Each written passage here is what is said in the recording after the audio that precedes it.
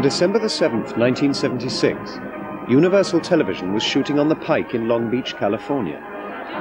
In this episode of The Six Million Dollar Man, the Laugh in the Dark ghost ride was the front for a secret missile launcher. Well, after dark. What are you going to do? I'll check around, have my fortune told. Okay, then I'll check out Madame Shearer's trailer. I don't think you should. It's too dangerous. But the Laugh in the Dark concealed quite a different sort of secret. I was working with the set dressing crew, actually inside this ride. All kinds of weird stuff hanging in here. One thing was a day glow red human form uh, hanging by a noose on the wall. And I looked at this thing, and uh, it looked awful real to me. So I went over to move the arm to see if he had any genitals there, which wouldn't have been on paper mache. And they indeed were there. Shriveled a bit, but there. but the arm snapped off. Looked like beef jerky wrapped around a bone. Pretty well dried out. You know, he was very light. The coroner's investigation that followed this discovery unearthed the extraordinary story of a third rate outlaw called Elmer McCurdy and his travels across America, a journey that started with his death in 1911 in the Osage Hills of Oklahoma. Why do you whisper green grass? Why tell the trees what ain't so? Whispering grass, the trees don't have to know. No, no.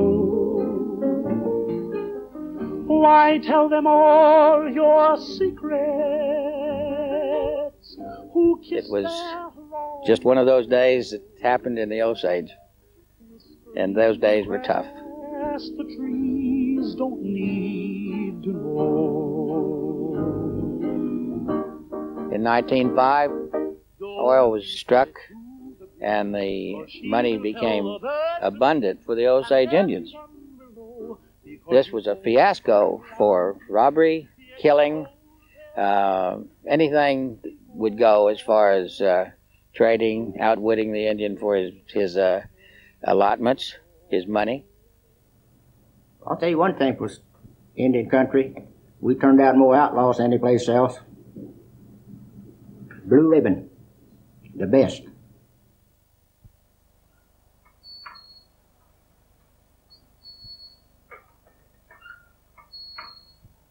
I like it here though. I put up with the snakes. If they bite me, I'll bite them back. That's why I'm still alive. Immune. Into this wild country came Elmer McCurdy, a 31 year old drifter from Bangor, Maine. He'd been a plumber, a miner, a soldier, a drinker. Now he was after an easier way of making money. He was a safe cracker, wasn't he? Pretty much. Well, Of course, he held up You that talk train. about McCurdy. yeah, he's asked about McCurdy being Well, different. McCurdy was two or three things. Uh, he was, his uh, career as an outlaw was rather ill-fated, and he was kind of bumbled at most of the things he did as an outlaw. Now don't you tell it to the breeze. Chautauqua, Kansas was a small but prosperous spa town. And everyone knows Elmer McCurdy and two associates decided to rob the bank. Yes, you did. You told them once before. They blew the door of the vault across the room, that's wrecking why. the furniture, It ain't no and woke up the whole town. Mm, mm, mm. They had to leave most of the loot behind. Why tell them all the old things? When Elmer held up the Iron Mountain train, he used so much nitroglycerin that 4,000 silver dollars melted and were blown into the corner of the safe. Afterwards, the railroad needed a crowbar to get them out. By late September, Elmer decided to give lawbreaking a rest. He took a job on Charlie Revard's ranch in the Osage Indian Territory, just south of the Kansas line. Uncle Charlie was very much loved in the family, and um, he had a glass eye. And every once in a while, to shock us, he'd take his glass eye out. but he was a tall old man and very, very thin. Oh, he's just an old Indian, if you ever saw an Indian. He, he didn't wear no blanket or nothing. He just dressed like we are. But uh, he was Good old Indian. I've eaten with him many times. He always hired extra hands to help with the alfalfa harvest. And um, Elmer showed up. He gave his name as Frank. In our family, we always called him Frank. Uncle Charlie was a great talker in the sense he liked to talk about politics and um, Shakespeare and Greek mythology and so forth. They used to sip whiskey after the hard day's work and uh, visit. In October, Elmer asked for a few days off. He had a new plan. He had targeted the uh, MK&T Railroad because he had heard of the Osage Indian royalty payments, and uh, which amounted to three to four hundred thousand dollars, they said, and they knew it was coming, and uh, so they lay in wait for it.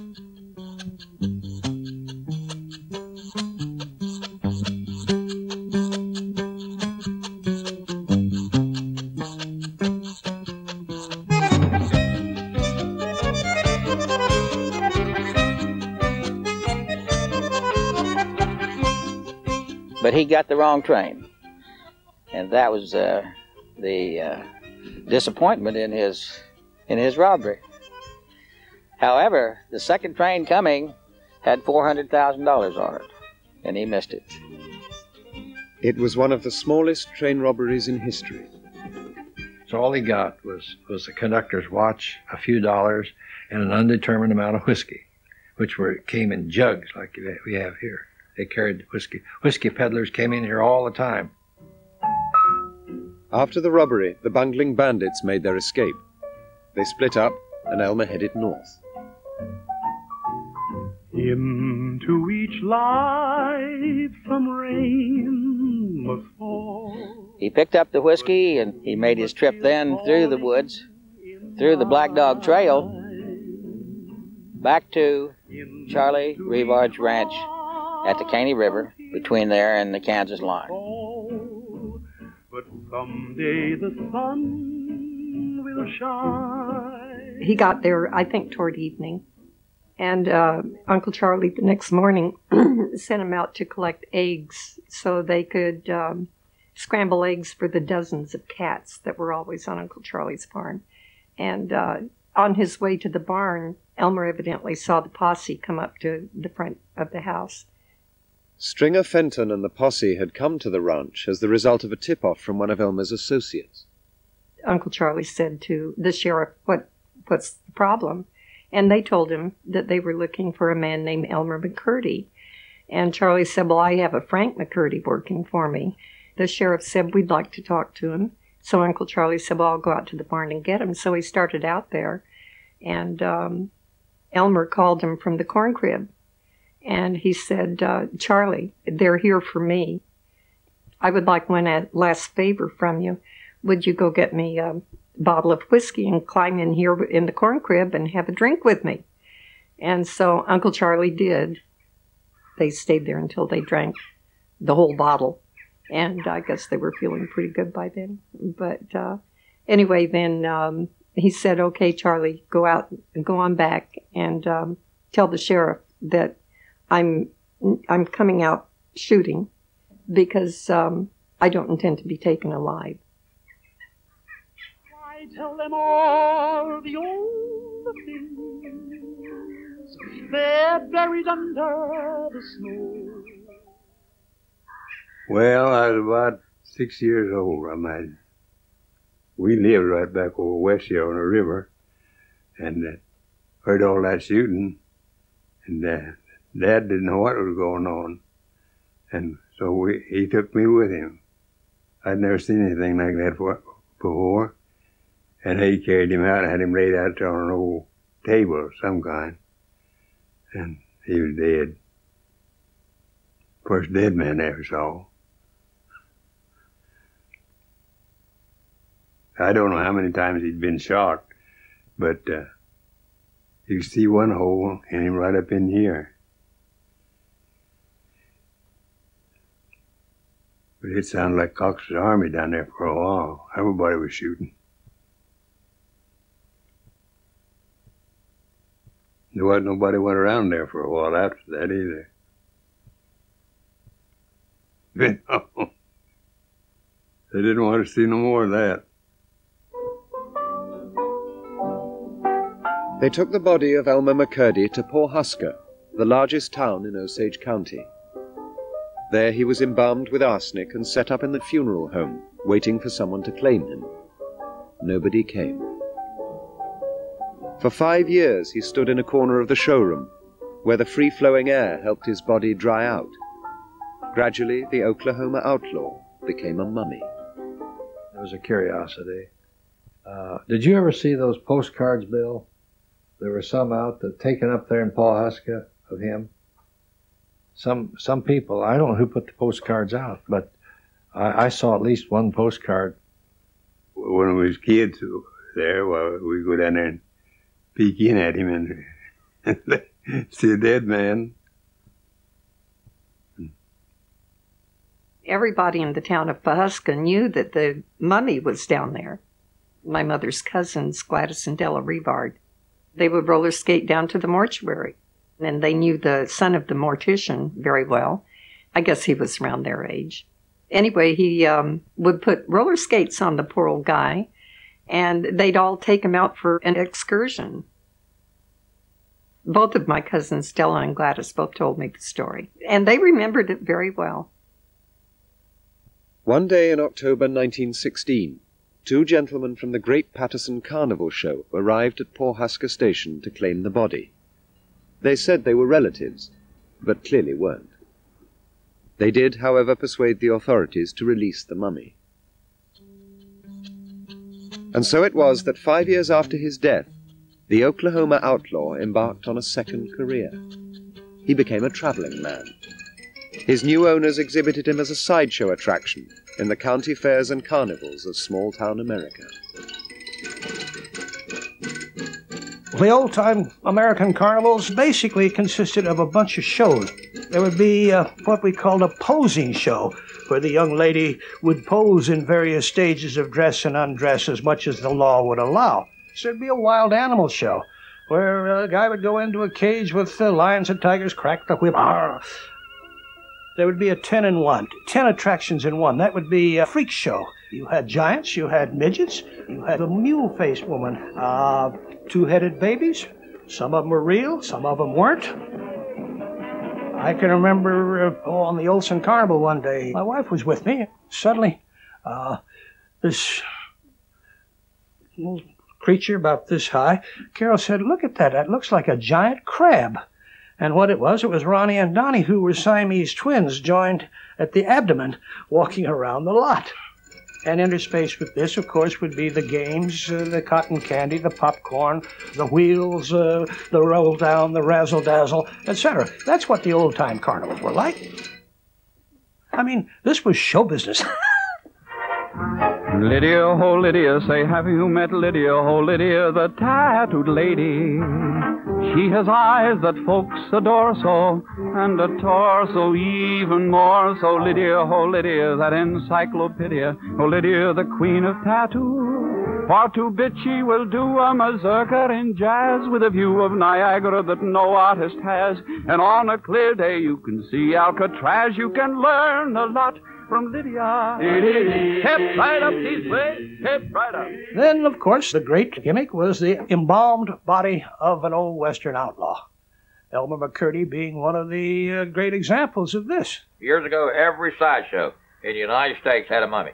If you didn't have a mummy, you didn't have a sideshow.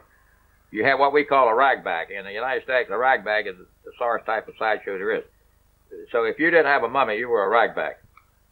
And I never had a rag bag. I had a first class, top notch museum sideshow. Maria Day is a, a nightclub entertainer. She was killed by her boyfriend, and her body was tossed into Great Salt Lake. Because of all this political correctness that's rampant in the United States, at least, uh, I voluntarily took her off the road over 20 years ago, and she's been in retirement ever since. I've had all kind of mummies uh, I went all the way to California and bought gold to Jimmy. And what a nightmare. Crossing the entire country. A 6,000 mile round trip. And bringing our mummy back in a station wagon. I don't even want to talk about it. we had just crossed the bridge over from uh, San Francisco, went over to Oakland, actually where we picked up Gold To Jimmy, and we had just got about two blocks. And here comes about four police cars with the sirens wide open and the blue lights flashing. I said, oh, hell, we've had it now. Pull over. We just got started on a 3,000 mile trip. We pulled over. The police cars went right by us. They weren't after us. Scared hell out of all of us. but anyway, we went through all these states and we had police stop us half a dozen different times. We wanted to see it, and they wanted to take a look at this and was that. And my brother, who's a retired army officer, he said never again. He would never take another trip with me. He, he said that's, that's it. He's not riding with no damn mummies anymore. But anyway, we came back, and we stayed at uh, uh, we stayed at his house, and we took go to took him into the two car garage because we had to do a lot of riding around, and we don't want to be going all over Colorado Springs with a stiff in the back of the station wagon. So we propped him up against the wall and his wife like had a fit.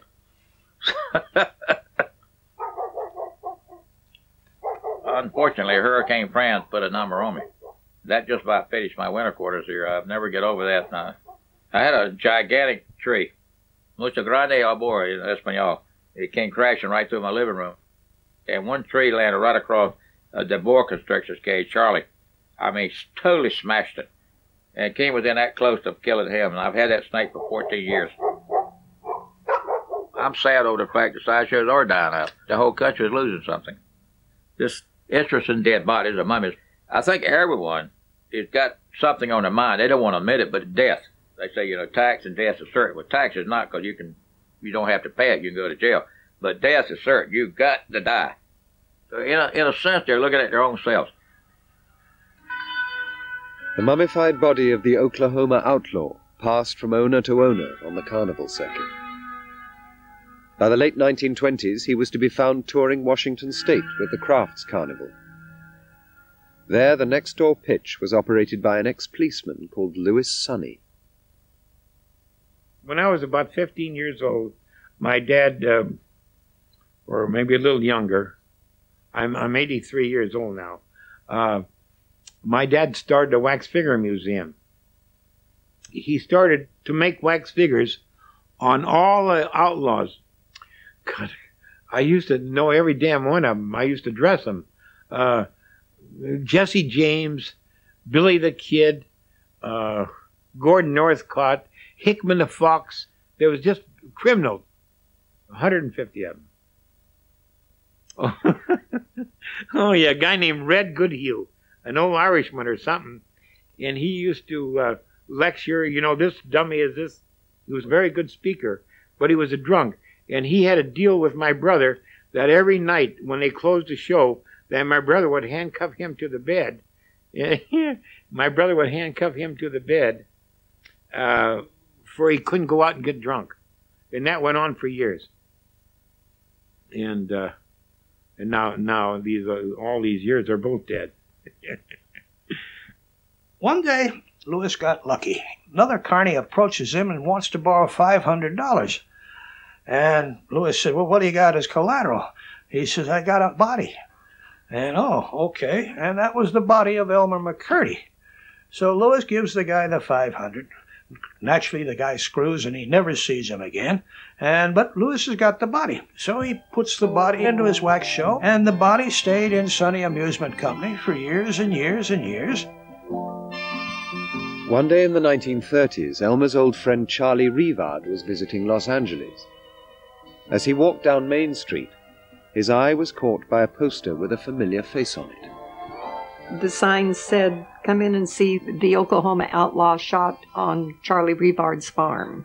He just couldn't believe that they were exhibiting his body, you know, because it was someone that he knew and was rather fond of. While he was standing there, these two old men walked up, and one of them was saying, Oh, yes, I was there the day that they shot Elmer McCurdy. Uncle Charlie kind of walked back so he could get a good look at these guys. And um, he didn't know either one of them. And he was thoroughly disgusted with the whole thing, so he walked on. But Louis Sonney's main line of business wasn't the waxworks. It was exhibiting his own true crime movies. See, my dad, in his mind, he was always a policeman. He had a lot of different motion pictures, everything was policeman stuff, and he would even stand out in front of the theater with a handcuff and handcuff people. Hey, uh, do you know how to shake hands now? Uh, say shake, shake hands. What do you mean, shake hands? Like Which this. way? Shake it. Right now, good. Right now, boy. A March of Crime consisted of newsreel stories about the sort of criminals that were in the Wax Museum. Sometimes the facts were embellished a little. Elmer McCurdy, Oklahoma train robber. Single-handed, he held up the Katy Flyer, killing two men. He was shot and made helpless. He feared lynching, so he drank a bottle of acid and died instantly. McCurdy was also an addict and peddler of drugs. He started more young people using marijuana than any other man. Today, the body is a puzzle to science because of its fine condition. Probably some chemical action between the acid he drank and his dope-saturated tissues caused this mummy-like preservation. So after death, Elmer finally earned money instead of stealing it. He was showing a theater and uh, and not doing very good. Follow me? Now Dwain Esper was showing a theater two blocks down on the same street, and they had a lineup second to none. I think the name of the picture was Seventh Commandments. You could not uh, monkey with another guy's wife, you know. And uh, um, and so he goes over there and finds out what about all this thing. Well, he didn't know the guy was selling sex. My dad never knew nothing about sex, you know. He thought you doing sex with you when you have children, you know. And uh, and so he bought in half with Dwain Esper, and uh, they become half-ass partners, and that's how he become in the exploitation business. What was the purpose of the exploitation movie? The exploitation movie was a cheaply made movie that could be made in a matter of days that uh, normally uh, dealt with some subject that the major pictures couldn't touch as long as the subject was in extremely bad taste. And it was sold like a traveling carnival on a local level to get into town quick as long as the topic was hot, get out of town before the cops came, and uh, take home your ill gotten gains. Gee, it's hot. I think I'll shed this while we sit and chat. It was the old carnival tease. The old. This was the beginning of the nudie business, the nudie cutie business. And the guys would keep coming back week after week after week. Well, what brings you out on such a warm day? These pictures were as rigid in their construction as a medieval morality play. In all of them, virtue was triumphant in the end. I mean, that was the square up.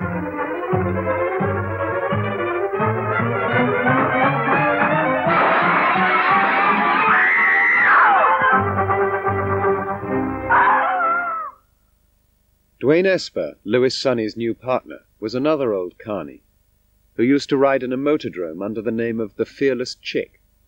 Ah, Dwain, now there, there was the character of all characters in the exploitation business.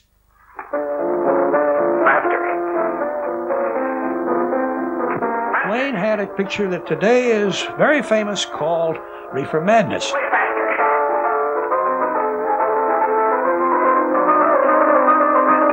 Him and my dad made a picture. My dad financed it. The whole picture cost five thousand dollars. Named Maniac.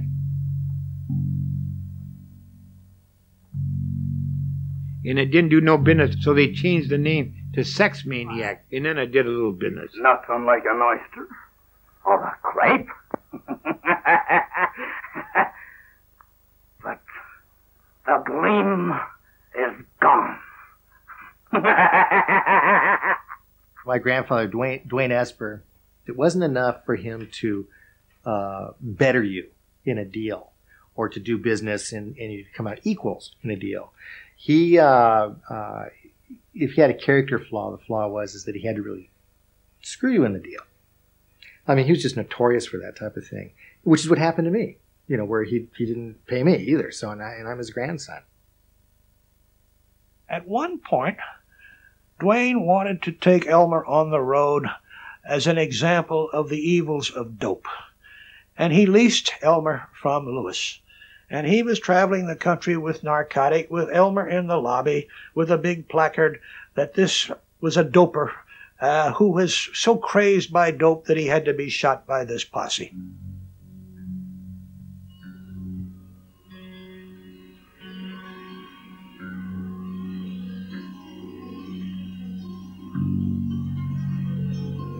Uh, my grandmother, Hildegard von Stadie, wrote them. The narcotic script is a loose lift off of how she grew up. Her uncles who raised her, her mother was only 13 when she was born, but her uncles who raised her, um, the one who was on opium was actually a doctor, a medically educated doctor, who made more money selling the snake oil. And she would go out and dance with no clothes on with a boa constrictor and draw a crowd.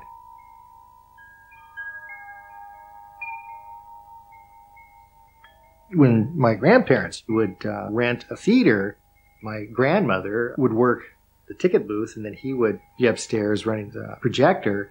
So she would control the money and he would control the print. If they did the film like uh, The Birth of a Baby, where they had the segregated audience of men and women, then they would go out and pitch the book, you know, the sex books or whatever. And they would have them in a plain brown envelope and say, you know, don't open it till you get home, you know, and you're safe. And Vic used to tell me that if they ran out of the books, they would put in copies of Time or old newspapers or whatever, you know, in these brown envelopes and sell them at 50 cents or a buck each, which was a lot of money back then. And the thing is, the people would get home and they'd open it up and pull out this old newspaper. And what are they going to do? Go to the police and say I was ripped off by, by buying something I wasn't supposed to have anyway, and that there was a you know, very gray area.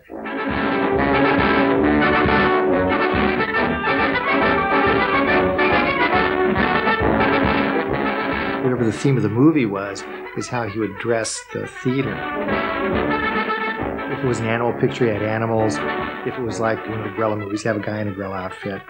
And Elmer, he was a convenient prop to be used to blame no matter what how he got dead. It didn't matter. He was, you know, vicious drugs, you know, too much alcohol, you know, venereal disease, you know, whatever it was that they were selling, you know, poor Elmer had it happen to him. When Louis Sonney died, his son Dan inherited the business, and Elmer. In the 1950s, Sonney Amusement Enterprises operated out of Cordova Street in downtown Los Angeles, known as Film Row, because all the big Hollywood distributors had their headquarters there. Everybody'd come down to see Dan, and Dan was a character on Film Row. Guys would come in to play cards with Dan all afternoon. I mean, Zanuck would come down, the Skouras would come down, Jack Warner would come down, and the gin rummy games in Dan's office uh, were legendary. So they'd come in, and Dan had to show them that stiff. I mean, all my friends knew about Elmer. He was my uncle, you know. He was in a part of the family. Elmer actually was housed in this building all the time I can remember growing up. We had him in a closet where we kept files, legal size files, and Elmer set the his casket set up above the files. I would never look at Elmer. Uh, my sisters, my two younger sisters, would always like like to look at Elmer, and they they giggle and run away, and but I would never look at Elmer. Never. I would never look at Elmer. I believed that he was really a dead man, and I didn't want to look at him. Just gave me the spooks. I grew up in Hollywood and I grew up with all the movie stars kids and I went to school with them and every all the families were kind of goofy even if they were in the legitimate side of it. We were used to living in the most outrageous circumstances. We didn't know it at the time, but everything to us has to be high drama and spectacular and really a story and we all she talks like this and I talk like this and everybody's so dramatic and everybody's loud and you know, dramatic. Right, Daddy? That's right. I don't think Dan ever used Elmer in any pictures, but I had him stacked up in the back of a shot of She Freak. We took him out of the coffin and just had him standing up there. Elmer never made it to the final version of She Freak. His contribution was left on the cutting room floor. In the original version of the shot, we had a pan, and Elmer was standing up in the back uh, before we looked down in the pit. And then when you look down in the pit, there's the girl with the snakes and the skeleton and what have you. She was geeking it up, you know. She's got the uh, got the snakes around her. Ah, she's all her eye is all cocked out and the whole thing. The actress was a very nice girl. Yes, indeed, a very very nice girl. Very successful. She owned a chain of ladies ready to wear uh, shops called Sassy Pants. But uh, that was the only time I ever used Elmer. Oh, it was crazy. it was like uh, there was always something happening. And um, Beatrice, Dad's secretary, they'd all be, Dad would usually be yelling at her for one reason or another, and she'd be scurrying around. Bee was an apparition. She was a great secretary. She could type, take dictation, 75, 100 words a minute, type like Dan would say, You tell that dirty SOB if he doesn't pay, I'm going to come out there and kick the. And she'd write these, Dear sir, your account is seriously past due. she was kind of very white and very pale looking, and she wore a lot of a lot of uh, heavy lipstick, and she was kind of thin and scary looking. She kind of reminded me of Elmer in a way. She kind of had that that look to her. Dan would get upset with her on some minor thing. God damn you, Bee. You doing this to give me a heart attack. Damn you, Bee. You wouldn't make a good whore. Ah, don't you talk to me like that, Mr. Sonney. I'm going to call the police. All right, Bee. I take it back. You would make a good whore. Oh, Mr. Sonney, how could you talk to me like that? And she'd go scurrying off, and uh, we'd all laugh all the time. Oh, she was a good girl. I had her since 19, uh, had her for about 35 years. She was an old maid. She was a very lovely Jewish woman. Never had a boyfriend. She was very orthodox, and the whole idea of a human body not being interred in the earth was an anathema to her. I mean, she couldn't stand it. And Dan would love. Come on, Bee. You gotta look at. You gotta look at uh, at Elmer. Oh, Mister Sonney, don't you know? No. Oh. One day, Dan takes his hacksaw and saws the arm off Elmer. And I got into the office, and El Dan is trying to goose me with this arm, and she is screaming bloody murder. She had a voice so high pitched she could break window glass with it. And why the police never came, I don't know. So after that little caper, Dan put the arm back on with uh, electrician's tape. but that's why the arm fell off. And now, Sonney Amusement property is a Presbyterian church. Uh, they bought the property from my father about 15 years ago. A Korean Presbyterian church, I believe. In the 1970s, Dan Sonney decided the time had come to clear out the remains of his father's old carnival show.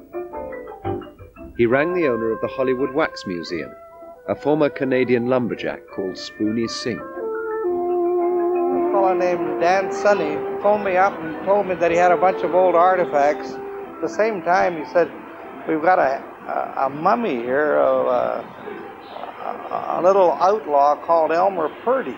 Well, I'd never heard of him, and when I looked at the thing, it was so awful, you know. I said, well, I, I certainly couldn't show that anywhere. Just like the ugliest looking little monkey you ever seen.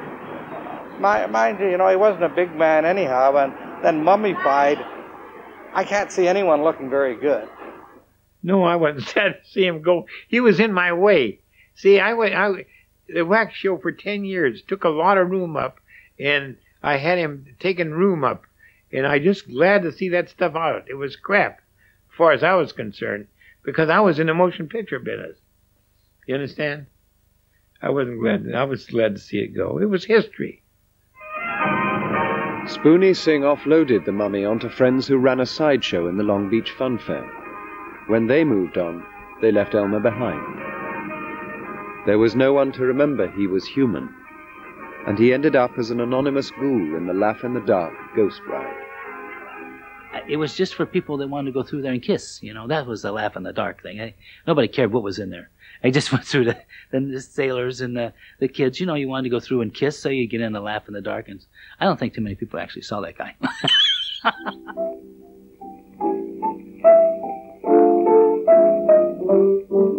A little blonde siren was asked for a date. She thought her boyfriend just didn't rate. He took her to an amusement park, you know the kind. Now these happy thoughts run through her mind. You made an impression on me. at the amusement park when we rode through the Venetian Canal in the dark. Well, they had 300,000 sailors a half mile down the road. You know, get on the bus and boom, they were here. So they came down here, and then consequently, all of the young girls in the neighborhood came down because the sailors had money. You know, and then uh, all the girls were down here, so consequently, all the boys from the neighborhood came down here. Come down, get tattooed, ride the rides. There were two or three dance halls and a bunch of bars. You know, it was something for them to do on the weekend.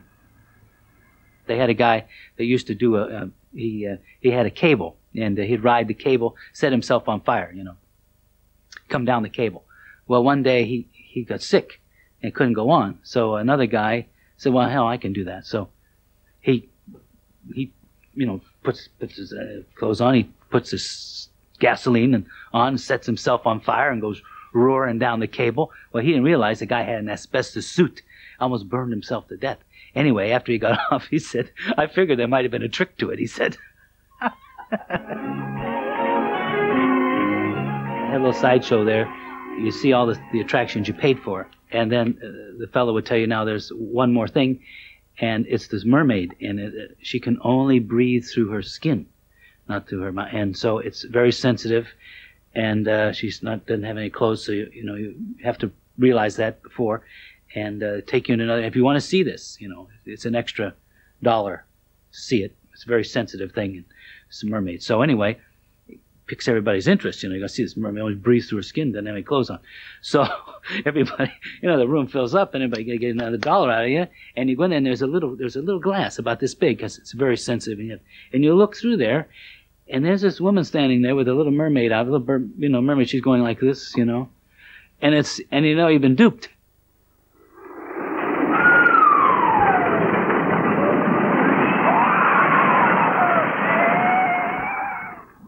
Now on the Pike, it's gone. We're the last amusement facility in Long Beach. Looff's Lite-A-Line, the most, the world's most thrilling and fascinating individual skill game, as it says on the wall. Yeah, we've been here since 1941.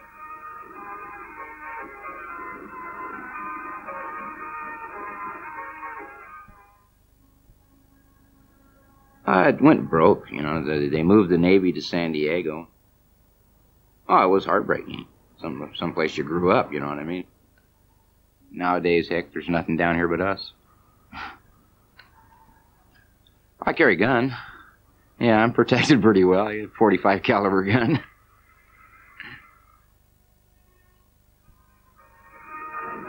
It was on Tuesday, December the 7th, 1976, that the body of Elmer McCurdy was found hanging by the neck inside the Laugh in the Dark. He was just hanging there, swinging, turning, you know, just from the just from us walking by, the breeze would, would make him turn. He would, had been painted, uh, I guess, six times with iridescent paint, and uh, I felt sorry for the for the corpse for the simple reason it looked like he had a tear. And really, if you saw the pictures, there was a tear that that was running down his face, you know. And upon closer look, uh, you could see hair growing off the skin. You know, it was hair follicles still growing. All through the years that I was on the fire department, I never did feel that way about uh, seeing a body. Maybe it was the fact it had been just stacked like a, a piece of uh, paper or a piece of cardboard or something like that, and just taken out whenever somebody had a whim to have a new attraction down there. And uh, it was just, uh, it hit me funny, I'll tell you that. It just really did. I told my wife about it, and so, you know, softy, you know. The fire department called in the police. The police called in the Los Angeles County coroner. Dr. Noguchi was used to coping with unusual corpses. Uh, Marilyn Monroe, 1962. Uh, William Holden, Natalie Wood, in 83. There are quite a few. So I was one time called coroner to the stars. The cadaver, which I view, are not the same as a cadaver most people would uh, imagine. Instead of a gray, green color, I see the cadaver with a multiple color with intensity. often the evidence is like staring at me with the color of uh, red orange, uh, intense yellow orange type of uh, colors that I, uh, I, I see. In the case of the Long Beach mummy, they quickly established the cause of death, a gunshot wound, but they had no idea whose corpse it was. The first real clue came from the body itself. In the, in the mouth, its uh, mouth was slightly open. We uh, found a torn entrance ticket with a coin. I, I suppose that's not the custom, customary place, but it's uh, those brave uh, soul uh, probably challenged the mummy, put the penny as part of the lock, I suppose, and the ticket in. And those are a clue for us to find who he was. The ticket stub led them back to Dan Sonney and to the name of Elmer McCurdy. But only his family had the right to claim his body, and the amusement park didn't count as next of kin. Who can have uh, the custody of uh, Elmer McCurdy is became an issue. Uh, uh, I, as a coroner, uh, we need to make sure that the right person who receives the custody. There is a call from uh, Mr. Fred Owens, curator of the Oklahoma State Territorial Museum, and we invited him. He came in with his, uh, uh, his favorite hat, uh, typical Oklahoman in a century ago. We went out to beg for the body and to bring it back. Noguchi was very analytical. He said, uh, he said, uh, you want to know what he ate? And I said, what did he eat? He says, cornbread, bacon, uh, he named off some things. He said a, a lot of whiskey in the intestinal tract, in the stomach. So he knew that he'd really sopped up the whiskey, I guess. The body, you could just pick it up like that. It was as light as if it were balsa. It was completely dehydrated. We put on rubber gloves. And uh, uh, I remember as a kid, it's an old way, but uh, the body is, is loaded with arsenic and uh, just to touch it with your hands, uh, according to Noguchi, you could it would you could get it. It's gone into all the tissue. Therefore, I never understood that. But uh, don't you remember that, Bill? Not kissing.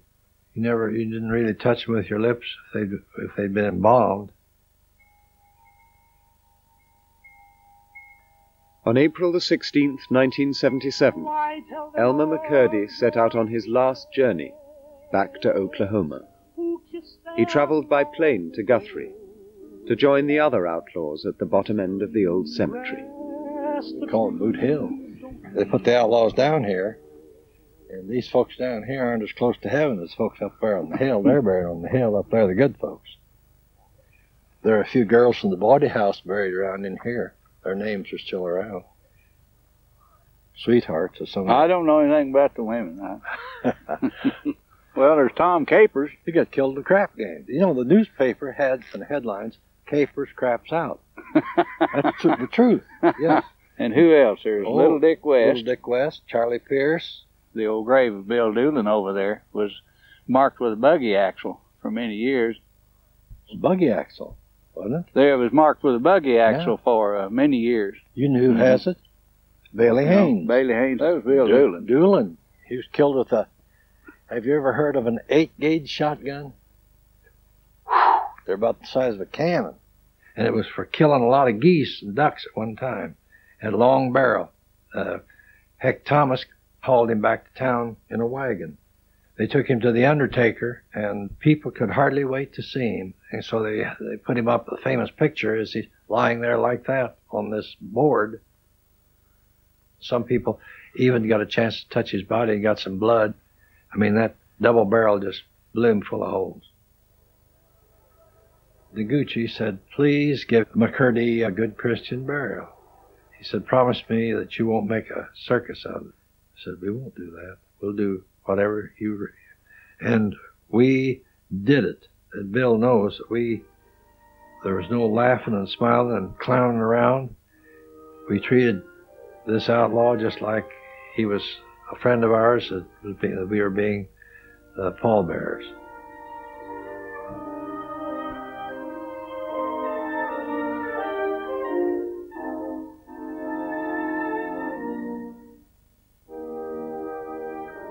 Elmer McCurdy, we rejected you before and refused to claim your body. Now we affirm that you are one of us. And after so many years, it is time to lay you to eternal rest in death with those companions that you sought in life. Amen and amen. My worry was he have surfaced many, many times. I wanted to make sure that uh, he will not surface ever again. One of the conditions that uh, I have raised as a coroner request was that pour a cement and the thickness of uh, six feet, two meters. I'm sure that the atomic bomb would not crack that open. Oh yeah, that uh, there's a road right up there, and that's remember the the cement mixer, the big uh, thing. Yeah. He was waiting on us up there, and then after everybody left, and they were gonna, I, I motioned to him come on down, and I don't know where I got that piece of cardboard. It was a big piece of cardboard from something. That nice coffin that he had that we that we put him in, because he had him in a cardboard box when they shipped him, and uh, I laid that cardboard on there, and then he just he just laid it right in there and filled it up. One of the things I remember when we buried Elmer McCurdy is as we were lowering the casket into the grave, there was a, a girl, I'd call her a flower child, that had the typical little small glasses, you know, and long, uh, straight blonde hair. And she had a tear in her eye. And as that casket was being lowered, she took a single rose and dropped it on the casket. I'd have no idea who she was. never forget you.